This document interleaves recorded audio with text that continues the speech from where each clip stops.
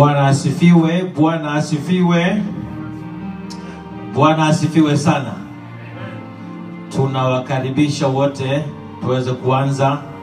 Tunawakaribisha pia ndugu zetu wa Facebook Live, karibuni sana kwenye ibada yetu ya Jumatano. Karibu sana kwa ajili ya kujifunza neno. Mungu awabariki sana. Karibuni, karibuni jamani.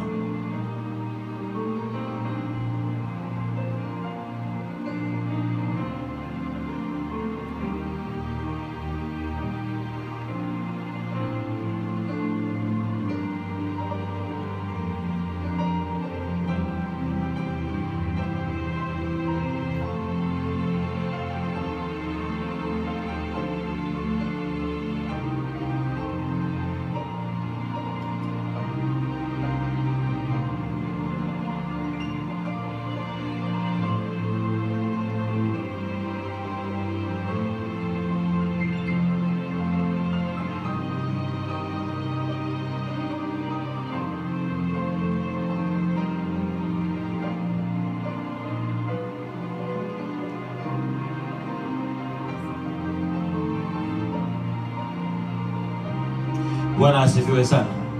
Tusimame tufungue kwa maombi.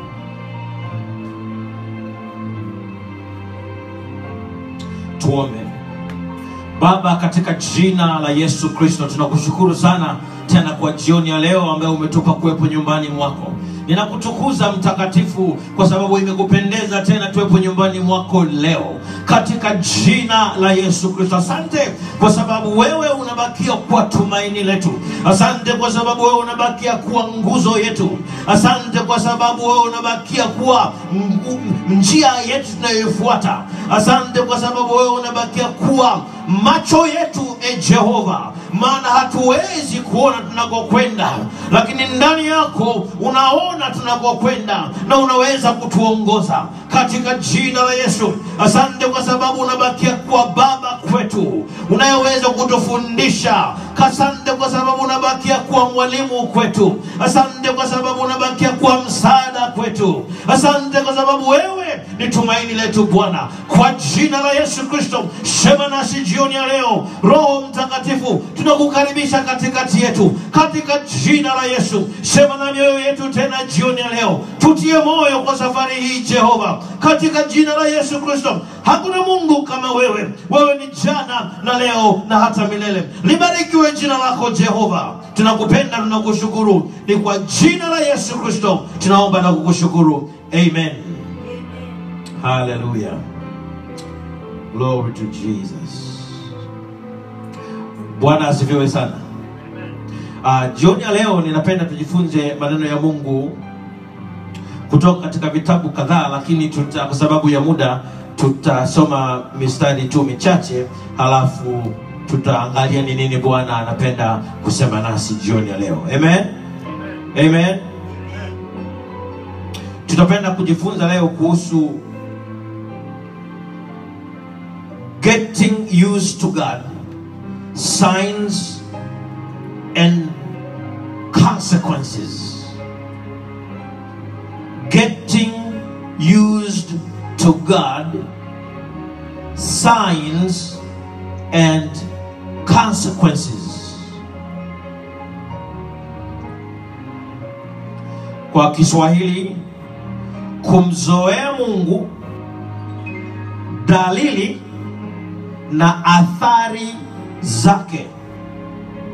Kumzoea Mungu, dalili na asa, athari zake. Nitarudia tena, kumzoea Mungu, dalili na athari zake. Bwana asifiwe. Tutasoma kitabu cha Wagalatia sura ya sita mstari wa saba mpaka wa kumi. We're going to read from the book of Galatians chapter 6 verses 7 to 10. Galatians 6 verse 7 to 10. Then Genesis chapter 3 verse 1 to 24. Remember this is a Bible study. This is a Bible study. Genesis chapter 3 verse 1 to 24. And then Deuteronomy chapter 28, verse number 1 to verse number 68. Mistari sitini na nane ya kusoma. Hatutasoma hiyo mistari leo. This is just for your reference.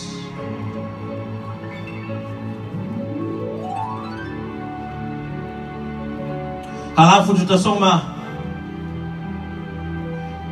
kitabu cha Matendo ya Mitume, the book of Acts, chapter 5, verse 1 to verse number 9.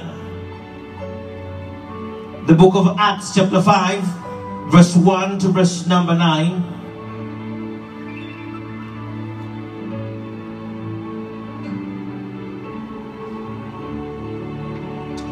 Hallelujah. Hallelujah.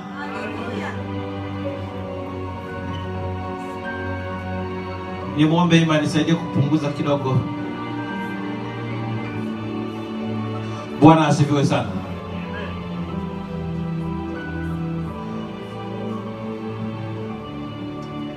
Naomba tuendelee, tutakwenda kusoma. Sister Pamela atanisaidia kusoma. Tu- Tunaweza tukampatia maiki Pamela.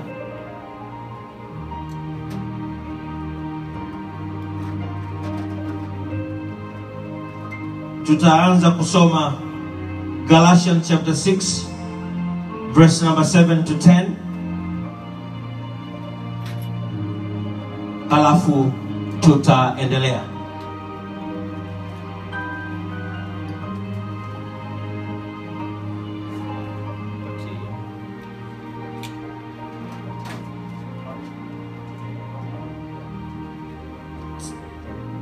Galatians 6, verse 8 to 10. Yes. I'll read in the name of the Lord. Come on. Do not be deceived. Uh-huh. God cannot be mocked. Uh-huh. A man reaps what he sows. Uh-huh. Whoever sows to please the flesh, Uh-huh.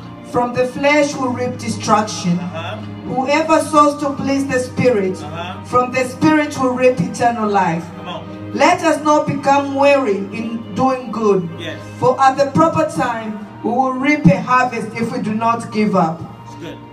Therefore, as we have opportunity, Uh-huh. let us do good to all people, Yeah. especially those who belong to the family of believers. That's good. That's good.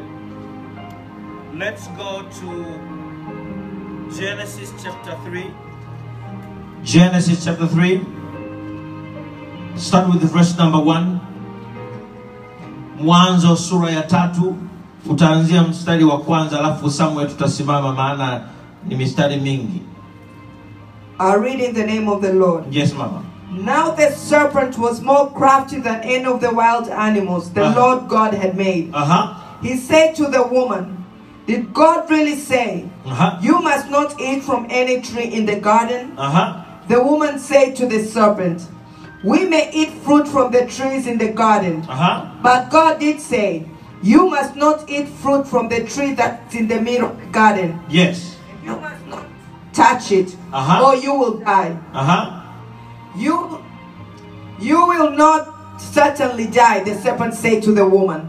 For God knows what that when you eat from it, your eyes will be opened, Aha. and you'll be like God, knowing good and evil. When the woman saw that the fruit of the tree was good for food, and pleasing to the eye, Uh-huh. and also desirable Uh-huh. for gaining wisdom, Uh-huh. she took some and ate it. She also gave some to her husband, Uh-huh. who was with her, Uh-huh. and he ate it. Aha. Then the eyes of both of them were opened, and they realized they were naked. Stop right there. They realized they were who? Naked. They realized they were naked. Wakagundua kwamba wako utupu baada ya kula matunda, Yes. lile tunda, si ndio? Yes. Lakini pale juu ameanza, rudia tena pale juu mstari wa kwanza na wa pili. Sikiliza. Now the serpent was more crafty than any of the wild animals. Asante sana. Una, una Biblia ya Kiswahili hapo um, Mama Gladys? Okay. Wewe unayo? Okay. Mwanzo sura ya tatu sura ya tatu mstari wa kwanza. kwanza. Usikilize Kiswahili kinavyosema kidogo hapa. Mwanzo sura ya tatu mstari wa kwanza. Mama, nikusukue usukue, uchukue uchukue mic pale.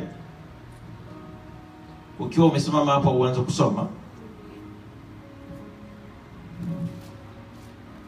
Sikiliza Kiswahili kinavyosema sura ya tatu kuanzia mstari wa kwanza. Basi nyoka alikuwa mwerevu kuliko wanyama wote wa mwitu, Okay, ishi hapo hapo kwanza, unaweza ukakaa. Kiingereza inasema now. Come on, one, one more time. the Uh huh. Now the serpent was more crafty. What is the meaning of being crafty? Ni maana yake nini? Hapa Kiswahili inasema mwerevu, lakini crafty is more than just being mwerevu, si ndio? Neno la kwanza zuri sana, asante sana Pamela. Mjanja. Neno la pili, mmewahi kusikia neno craftsman? Kusikia craftsman? Ni mtu gani? Mjuzi. Yaani umeleta neno zuri sana, mjuzi. Usisahau hilo neno.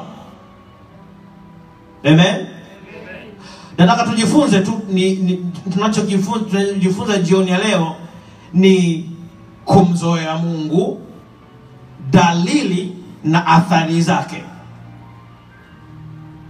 Shetani alikuwa au tutumie neno mwerevu au m, mjuzi.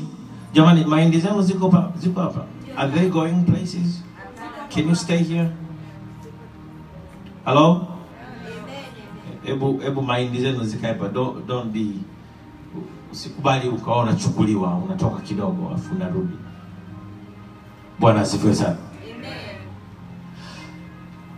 Shetani alikuwa mjuzi, mjanja, mwerevu, mjuaji kwenye kuchonga,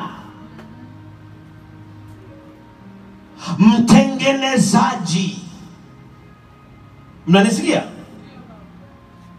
Hakuna mjuzi yoyote ambaye hachukuagi muda kustadi kwanza kabla hajafanya ujuzi wake. Uongo, uongo. Hakuna. Never. You'll never see a craftsman who does not have ability to study what he's about to make or what he desires to make.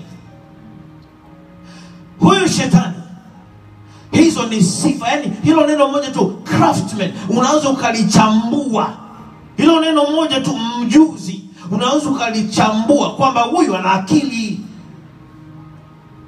kwamba huyu ana. Umewahi kuona mjuzi asiyekuwa mzoefu? Hello, talk back to me. Umewahi kuona mjuzi asiyekuwa ha?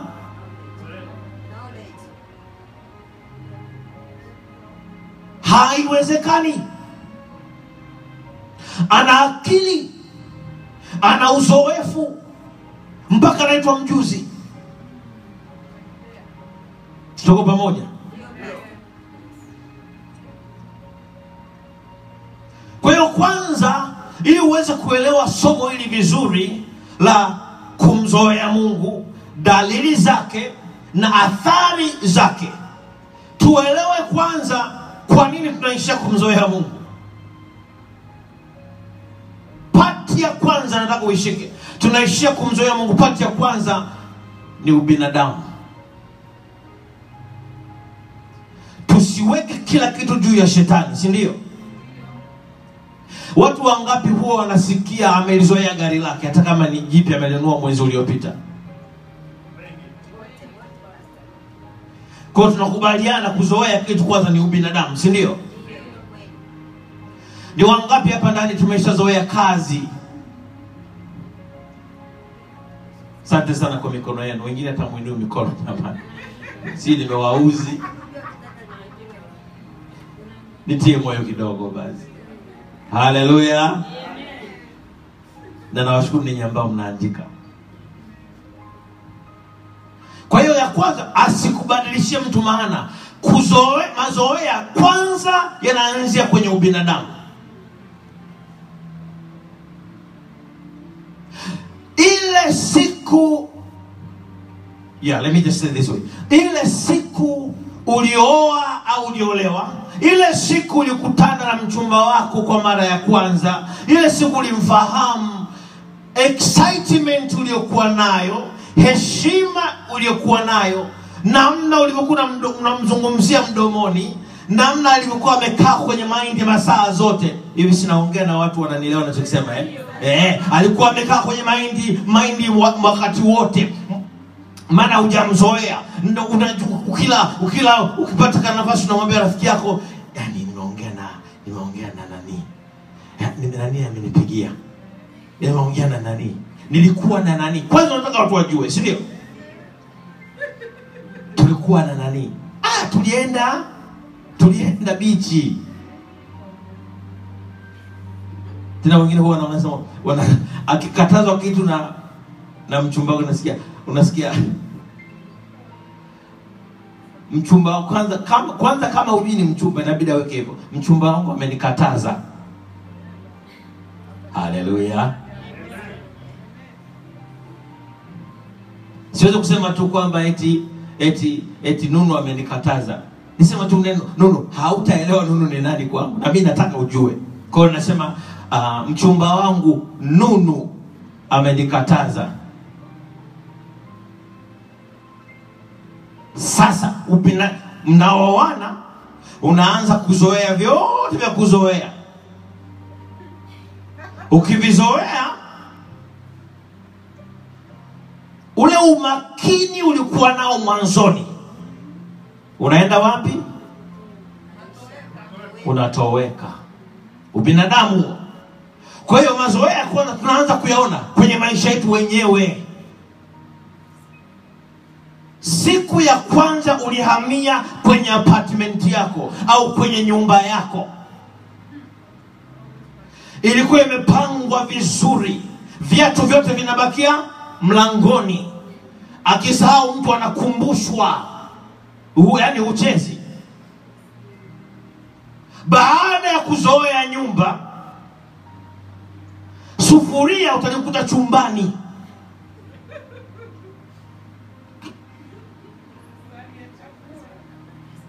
Hapa kwenye kameza ka, kachumbani utakuta utakuta kuna kasahani na kijiko na wakati mwingine mambo yakiwa mengi baada ya siku nne utakuta kuna masani mangapi?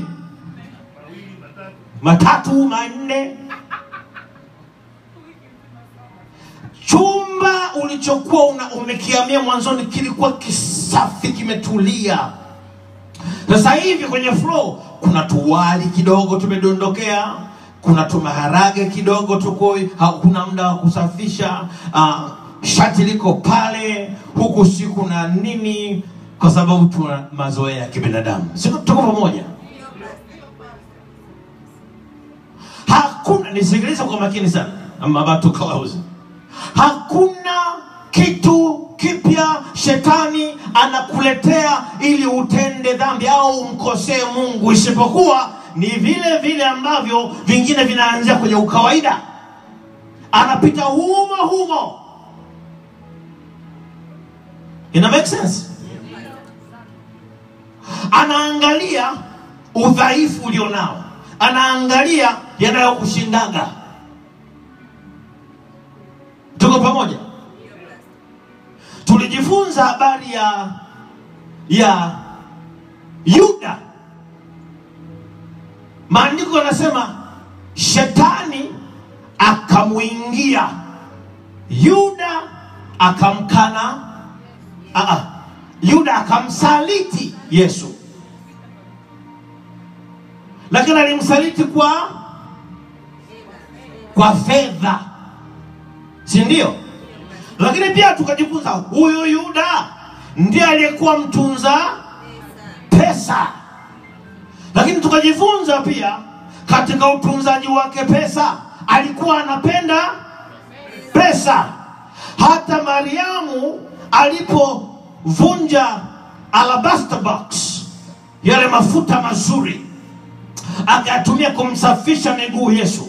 Si Yuda alisema nini? Yuda anasema haya mafuta yangeuzwa kwa pesa nyingi, ingesaidia masikini.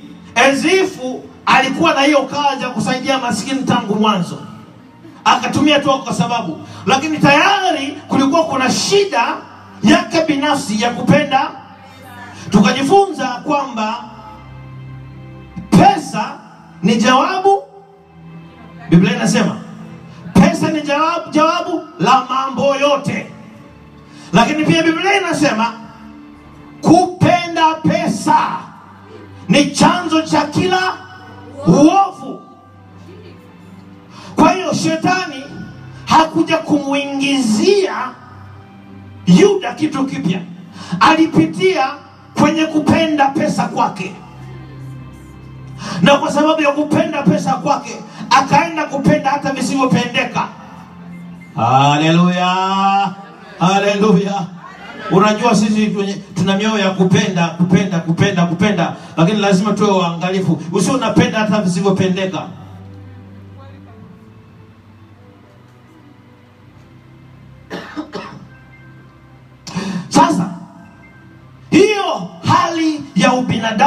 Tunayokuwa nayo ambayo inatuingiza kwenye kuzoea vitu, kuzoea maisha. Nakumbuka hata tulipoingia kwenye hili jengo, jamani, yani tulikuwa tunapenda sana, mazoea yakafika. Kwa hiyo unaweza kukuta kuna kakopo hapa ka maji, unaweza kukuta pale kuna kahapa, kuna kajuisi pale, kuna hali ya ubinadamu. Shetani anapitia sasa hapo hapo kwenye ubinadamu wetu. Shetani anapitia hapo hapo kwenye madhaifu yetu, akigundua kwamba hatuko makini, akigundua kwamba hatujaweza kuwa na knowledge na maeneo ya madhaifu yetu atapitia hapo hapo, kwa sababu ukishakuwa una knowledge kwamba mimi, kwa mfano, nitoe tu mfano, kuna watu wengine anajijua yeye anasahau sana, si ndio Alice? Kwa hiyo ukiwa unajijua unasahau sana, kila unapotaka kuweka kitu mahali ukikumbuke, haukifichi.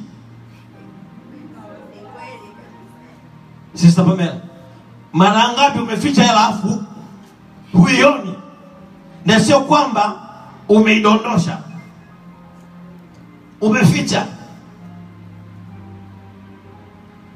Bwana asifiwe, Bwana asifiwe sana.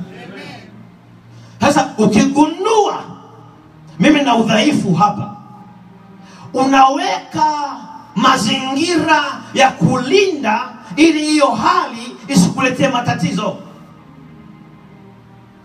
Nakumbuka nilipopata nilipopata tiketi ya kusafiri kwenda Dar es Salaam kwa mara ya kwanza. Unajua, ninyi ambao mmezaliwa Dar es Salaam hamwezi kuona how a big deal this was to some of us. Mimi nimezaliwa downtown Kigoma, downtown, unaelewa, sio kijijini yaani najaribu kuwaonyesha kwamba jamani, Kigoma sio kijijini jamani, kwa inabidi niweke neno downtown.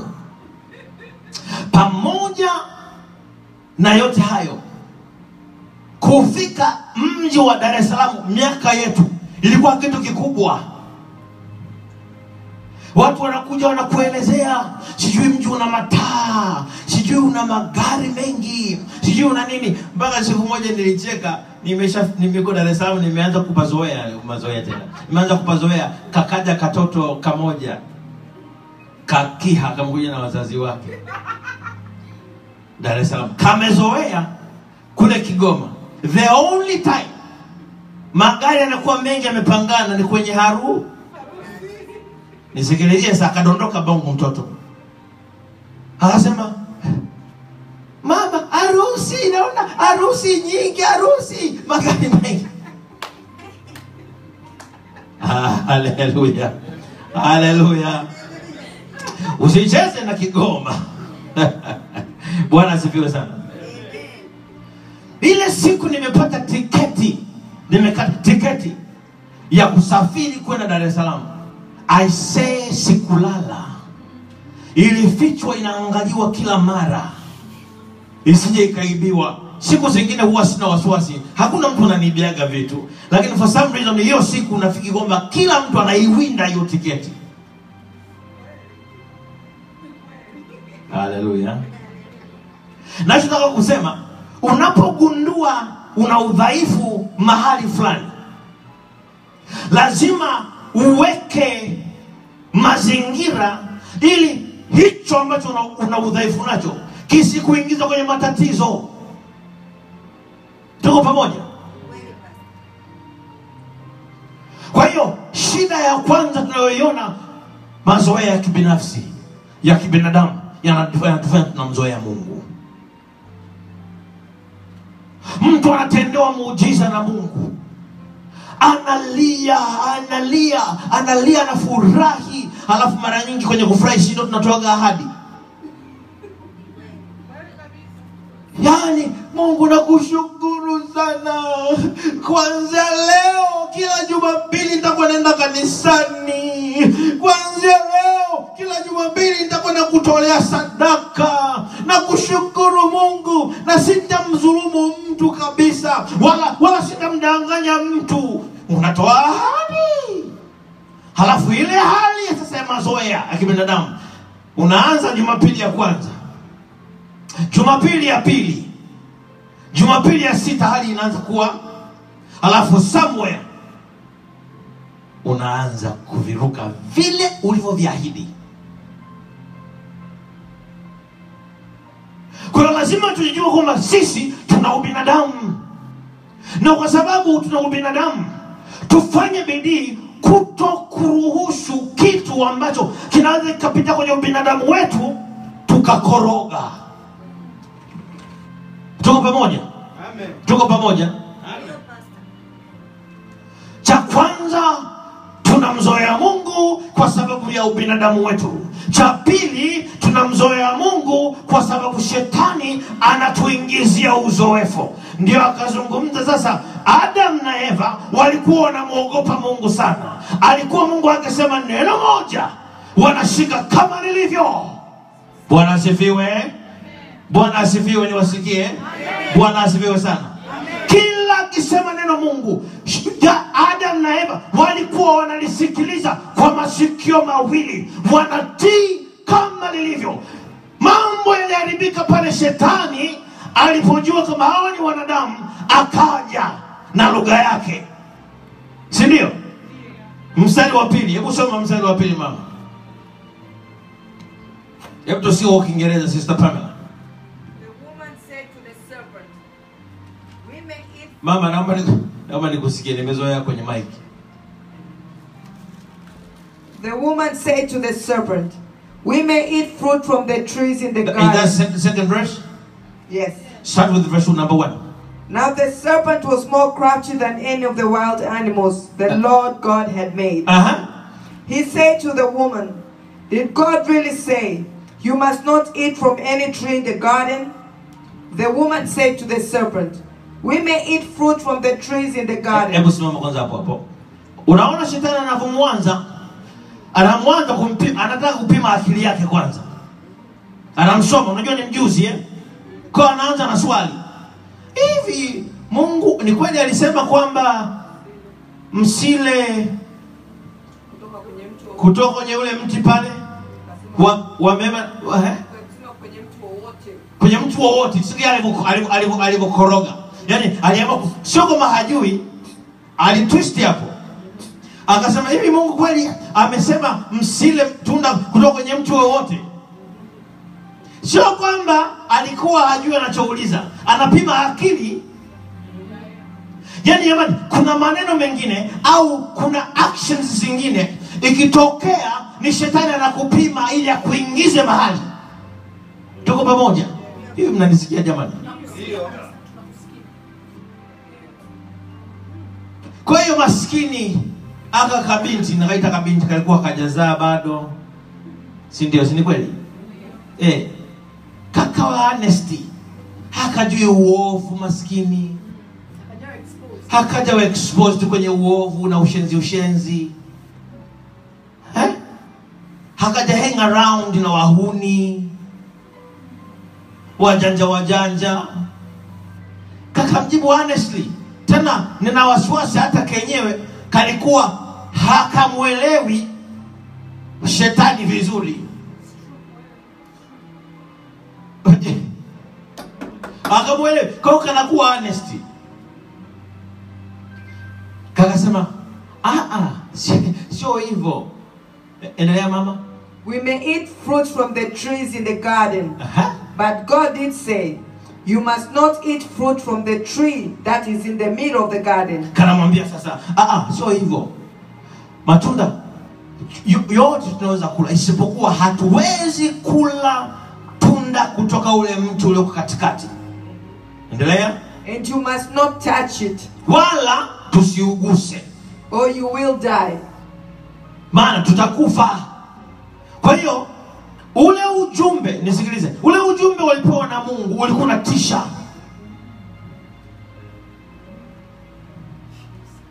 Hebu nitumie huu mfano nautumia tu kwa kwa maana nzuri jamani msinitafsiri vibaya. Wazazi wetu walitufundisha lakini pia tuliona kwa macho. Unaambia kwamba ukilala na mwanaume au mwanaume ukilala na mwanamke atapata? Si ndio? Kwa hiyo kunaingia hofu. Kuna wengine nikwambie mapema. Kuna wengine niseme nyewe wote hapa. Mwanaume au mwanamke kwa nyie wanaume sasa. Mwanamke na kwa nyie wanawake. Mwanaume miaka hiyo akikusogelea na unajua consequences za ile habari. Hataki kusalimia. hey jambo eh. anaweza asi, asipate jibu. Umechomoka. Kwa nini? Kwa sababu bado una ile hofu ambayo mama alikuingizia maneno ya kwanza yanapoingia kwenye masikio yetu yakakuta masikio yetu yako safi akili zetu ziko safi huwa yanaingia bila shida unajua. Yanaingia bila shida. Maana yanaingia kwenye maindi iliyo safi moyo ulio safi. Mtu ambaye hajajaa mengi. Mtu ambaye hajajaribu chochote. Haleluya. Haleluya akamweleza akasema "Ah, bwana habari hii kama tulivyoisoma shetani akarudi na swala la pili endelea mama You will not certainly die, the serpent said to the woman. kwa hiyo shetani sasa stand from To yeah The woman said to the serpent, We may eat fruit from the trees in the garden. Aha. But God did say, You may not eat fruit from the tree that is in the middle of the garden, Aha. and you must not touch it, or you will die. Aha. You will not certainly die, the serpent said to the woman. shetani akaingiza kas- kwanza kwenye masikio mapya kwenye moyo mpya kwenye akili mpya ya eva kwenye ufahamu mpya msafi wa eva akaingiza kasumuka kwanza akasema "Ah, ah, hamtakufa kale kaneno kamoja. Guess kaliinua nini ndani ya eva? Curiosity. Kalinua curiosity. Kiswahili ni nini? Nisaidieni mama nisaidieni. Shauku. Thank you so much. Kakainua shauku. Eh? ubinadamu. Kuna vitu jamani tusiguse. Vinainua shauku kuna shauku zingine ikishapamba moto kuirudisha chini. Ni vigumu. Tuko pamoja? Tunajifunza kitu hapa. Kuna maneno mengine yakisemwa. Kuna vitendo vingine vikifanyika. Kuna mambo mengine na, na kuna kitu nakopa nisiseme hapo. Kuna vitu vikifanyika vinainua shauku. Shauku ina levels unajua kuna ile level ambayo unaweza ukakafinya tu kakapotea haleluya. Kuna zile njaa kuna ikikupiga saa tatu saa tatu unaif- unaifinya tu haina shida. Ikifika saa nne ikashtua shtua tena unafinya. Ikifika saa tano sasa kila mtu tunatofautiana hapa. Kuna watu ikishafika saa sita hiyo shauku ya chakula haizuiliki kwa wale wenzangu ambao tunapenda chocolate au tunapenda ice cream unaweza ukasema ukasema no to ice cream jumatatu. Ukasema no to ice cream jumatano mpaka ijumaa wiki ya kwanza ikapita. Ukasema wow. Lakini siku moja sio mbili utashindwa kusema no kwa sababu ushauku ulioshituliwa, maana ile ice cream imepitishwa tu kidogo tu. Ah. kidogo tu. Haleluya Nisizungumza na ninyi hapa ndani nyie watoto wangu wazuri sana. Bali nizungumze na watu ambao wako kwenye facebook. Shauku ya kulala na mwanaume au mwanamke ukijua una kaudhaifu hapo shetani anakajua.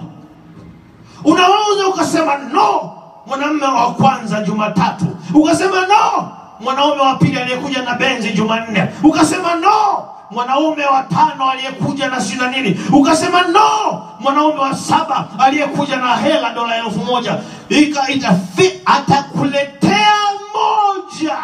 Atakuletea moja, utakuja kushituka ulimaliza. Unasema hivi nilifikaje hapa mwangalie mwenzako mwambie hehehe tunajifunza si ndio? Neno moja tu lilisema kwa eva moja. Likashitua shauku. Ile shauku akawa anaifanyia kazi. Soma mama endelea kusoma. Nashukuru unasoma vizuri sana as always. For God knows that when you eat from it, you will be your eyes will open. hebu kwanza hiyo mic kwa nini nakusumbua hebu nione ulivyoishika hebu nione juu okay labda battery iko chini or something au nini hebu endelea iko sawa. okay For God knows that when you eat from it, your eyes will be opened. sasa anaongeza kui- kuididimiza kuiwekea nguvu shauku anaongezeka uongo anasema mungu anajua kwamba mkila mtafunguliwa macho. Mtapata ufahamu. Si ndio? Endelea. And you be like God, knowing good and evil. alafu anamalizia hivi ni nani ambaye hapendi kuwa kama mungu mundani ndani? Kuna mtu ambaye hapendi kuwa kama mungu? Ni vile tumejifunza tu hapo kwamba usijilinganishe na mungu wewe tu ni mwanadamu. Lakini tutumie tu neno uzuri. Ni nani ambaye hapendi kuwa na uwezo fulani ambao mungu huwa anatoa kila mtu hapa ndani tunapendaga kuwa na mamlaka fulani ya juu. Kwa sababu kuna matatizo fulani fulani hayatatusumbua tukiwa na nguvu ile juu. Si ndio mama? Bosi anakusumbua sumbua una anointing ile una, unasema katika jina la yesu wewe ukimsamea unamwambia kesho unafukuzwa kazi akikuudhi vizuri unaambia kesho unakufa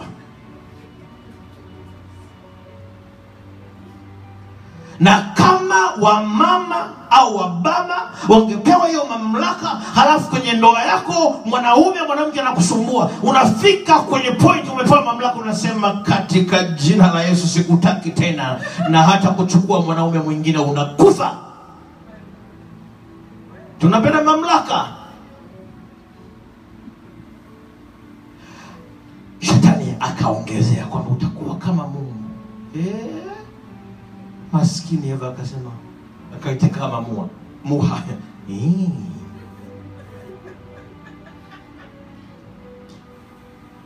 Mama, endelea.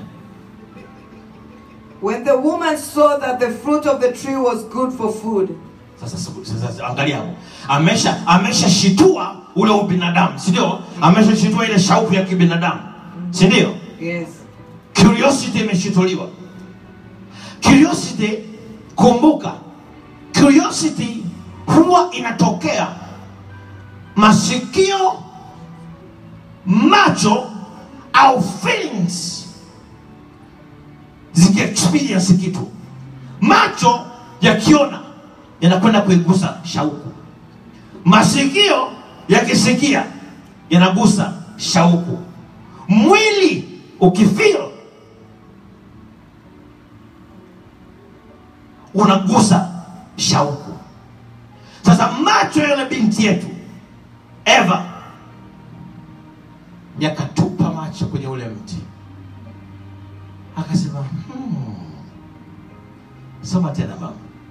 when the woman saw that Alip, alipoona the fruit of the tree was good for food, akaona kwamba eh, yani, yani lile tunda ni zuri sana hata kwa chakula, and pleasing to the eye, halafu linavutia, linafurahisha macho and also desirable for gaining wisdom, halafu linatia shauku na lina, linafaa ku, kuweka hekima ndani yangu. she took some and ate it. Akasapoti ile shauku iliyoshtuliwa mwanzoni. Tumesema curiosity ni nini? Iliyoshtuliwa na neno moja. Ile neno moja likamfanya akasahau sheria ya Mungu. Narudia tena, neno moja likamfanya asahau sheria aliyopewa na Mungu. Tunaposahau sheria ya Mungu, ni uzoefu au hali ya kumzoea Mungu imeingia. Kuna wale watoto au kuna wale mabinti au kuna wale vijana ambao huwa hasahau baba yake au mama yake alivyo. Hata ukimwambia uongo kiasi gani, anasema kwanza, anaweza akafikiria vibaya sana, ila kweli mm, baba atanitoa macho kwa pini.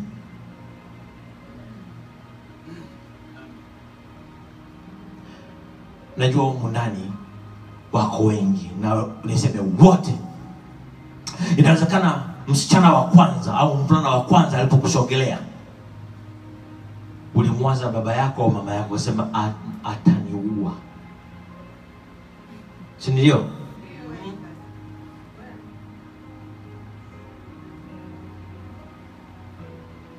Sasa natamani Eva angepata hata hako kafili lakini sisi kumbuka, unasema kwamba mm, baba ataniua. Kwa nini? Kwa sababu unamjua, umeona anaadhibu, umeona akianza kumchapa mtoto anachapa kama anaua nyoka, si ndio? Jamani, Eva alikuwa hajaona Mungu akipiga mkongoto. Mnanisikia? Eva alikuwa hajamuona Mungu amekasirika, alikuwa mpya, anamjua baba tu mzuri, alikuwa hajamjua Mungu anayepiga mko. Jamani, Mungu huwa akiguswa. Mmeshawahi kuona mtu ameamua? Kuna dada mmoja nilikuwa naongea naye akasema kwamba mimi huwa nikienda kwenye pati nikachokozwa, hiyo pati itafungwa, pati nzima itafungwa, maana nakuaga kicha, hakuna ki, msalie mtume. Anasema hata kama ni harusi, nyie maharusi mtaji- mtajijua, mimi nisiguswe tu. Mnanisikia? Mnanisikia? Kuna watu huwa hawachokozwi. Ukimchokoza, namna ya kumtuliza ni kama vile haiwezekani. nikaambiwa hapa siku moja ilibidi yani ili ilibidi wamkamate kwa nguvu wanaume wakaenda kumfungia kwenye gari la yuho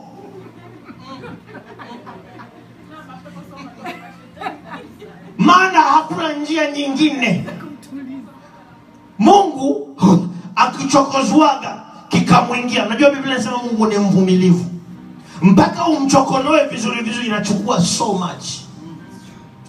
Iki, ukifanya vitu vikamchokonoa ni vile tumepoteza namba za simu. Tungewauliza watu wa sodoma na gomora si ndio? Namba za kuna namba yao hapa tuwaulize kidogo.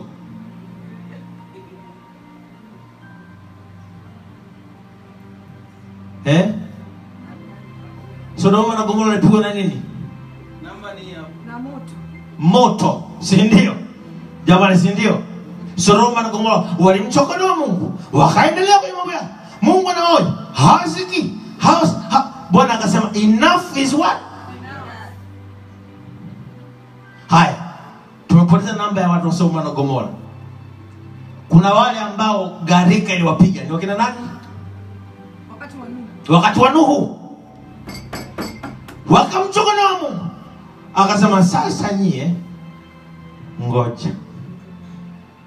Yaani nitafuta kila kitu. Mpaka na mimea. Yes imagine hata mimea ambayo kumkosea mungu. Alisema kila kitu kitakuwa kipya. Nanchezea mimi.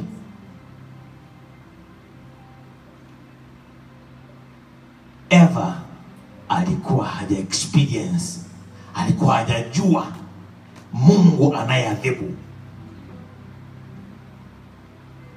Kwa hiyo neno moja tu. Neno laini neno zuri. Akakwisha kazi. Sasa sisi tuliopo hapa ndani kwa sababu tumeshasoma hizo habari tumeona mungu ambavyo anaweza akachafua pati mungu anavyoweza kuvuruga ukoo mzima. Kuna vitu vingine tusijisahaulishe. Ukiambiwa unakuwa unamkumbuka baba yako. Kama kwa watu wengine baba ndio anapiga sana mkumbuke baba. Watu wengine mama baba alikuwa apigi sana mama ndio anapiga. Ukiambiwa unasema "Ah, kizuri lakini mama akijua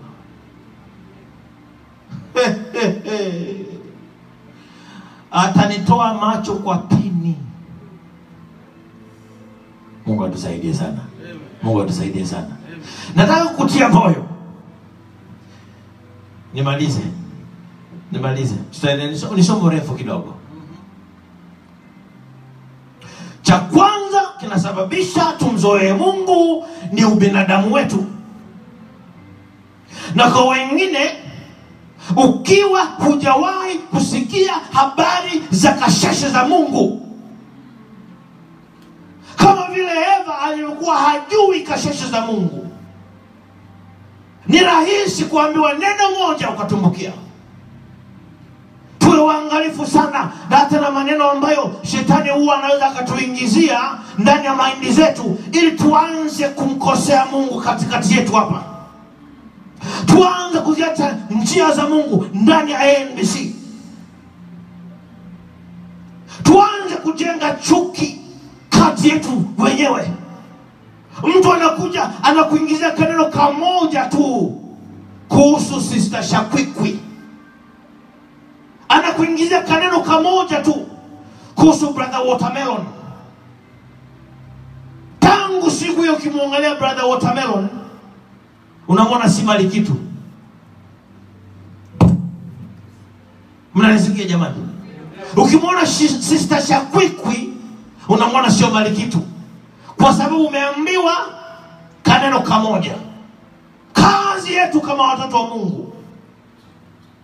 Hata ukisikia neno lolote kuhusu mwenzako kwa sababu sisi ni wasafiri wa mbinguni lazima ulisukumia mbali hilo neno ufanye kazi ya kumwombea mwenzako. Haleluya! Kwa sababu kuna ubinadamu ndani yetu jamani. Leo unaweza ukamsema mwenzako kwenye hiki hapa kesho ukatumbukia kwenye hilo hilo Kweli kabisa. Mungu atusaidie. Cha kwanza tujue kuombeana. Cha kwanza tujue kupendana na kuthaminiana. Sio wepesi wa kuamini. Maandiko anasema msiwe wepesi wa kusikia. Sikia. Msiwe wepesi wa kusema, wepesi wa bali wepesi wa kusikia. Thank you so much for reminding me. Msiwe wepesi wa kulopoka yaani kama wakiniambia ni, ni neno gani napenda kuliongeza kwenye hiyo biblia hapo? Yani ku, ku, kuongezea hapo kwenye maana. Kusema nikisema kulopoka. Maana wakati mwingine tuna- tunalopoka. Haleluya. Ninakaribia kumaliza. Usichoke namaliza sasa hivi. Lazima tulindane. Haijalishi nimesikia neno kama ni la kweli kama ni la uongo lazima nijue kwamba huyu ni msafiri mwenzangu wa kwenda mbinguni. Yeye ana ubinadamu. Ubinadamu umemshika.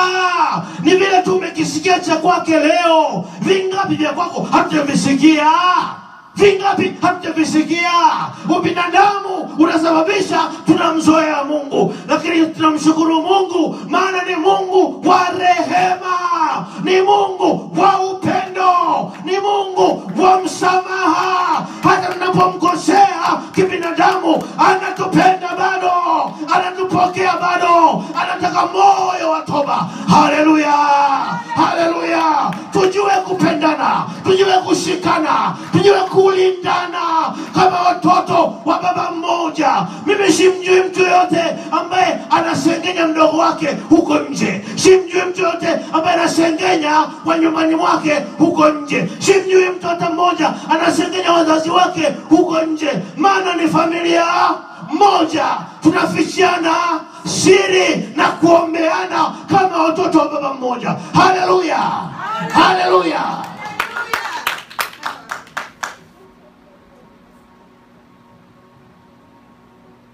mungu atusaidie sana.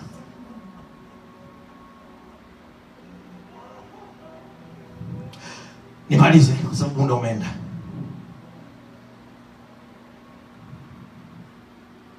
Nimalize kwa sababu muda umeenda.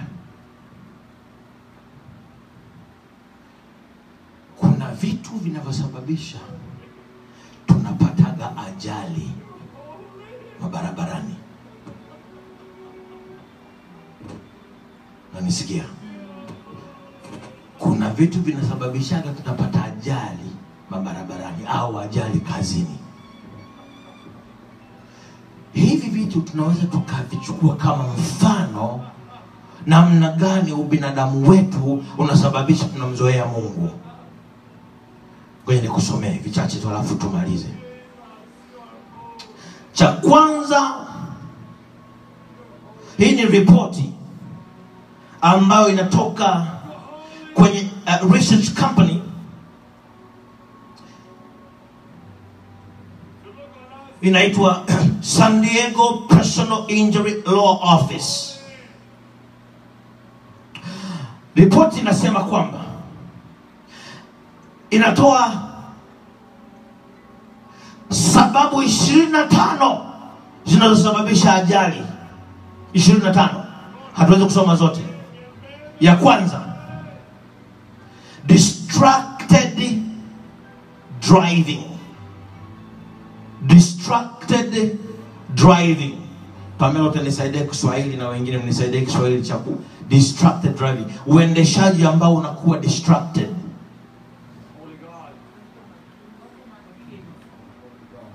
No, sio tu kwa uko makini. Umewahi kuona uko unaendesha gari lakini unataka kujibu kila simu na kila teksti kwa hiyo kama wewe ni mwendeshaji na unataka kila text message na kila simu uijue wewe ni distracted driver. Kwa hiyo uendeshaji wa gari ambao unaendekeza vitu vingine hivi unaitwa distracted driving. Vina make sense ndio hiyo tabia inasababisha ajali barabarani cha pili reckless driving uendeshaji usiokuwa na uangalifu si ndio unasababisha ajali. Cha tatu, running stop signs inasababisha ajali. Ya nne, im- improper turns inasababisha ajali. Ya tano, driving under the influence of drugs inasababisha ajali na zingine nyingi. Nikiwa shule najifunza, nilifanya masomo ya umeme, kukawa tukaambiwa sababu kubwa tatu zinazosababisha ajali. Moja, lack of knowledge, kutokujua.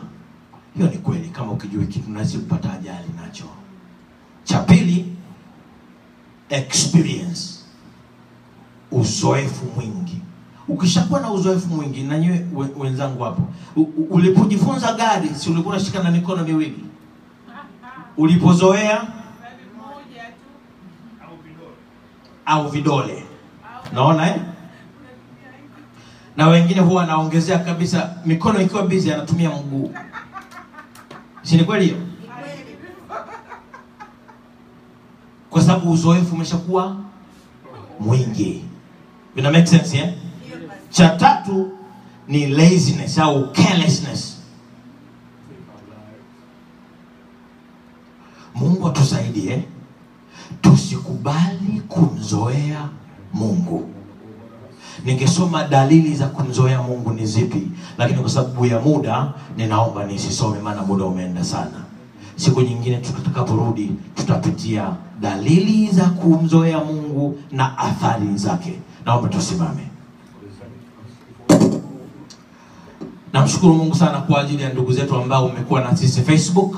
Mungu awabariki sana kwa mafundisho haya. Ninaamini ninyi ambao mko Facebook, hata wale wa YouTube ambayo mtayasikiza mafundisho haya yataweza kuwajenga. Kama una swali, unapenda kuwasiliana na sisi, tupigie simu namba 614 260 2636 tuko US na kwa sababu tuko US, tuko Marekani, lazima uanze na moja. Kwa hiyo ni plus 1 614 260 2636. Pia unaweza kutuandikia email. Email yetu ni donisinkone at gmail.com. Mungu awabariki sana. Tutaonana tena kipindi cha kesho Alhamisi. Kesho Alhamisi tunakutana tena kwa mafundisho mazuri kupitia Facebook Live. Mungu awabariki sana, asanteni.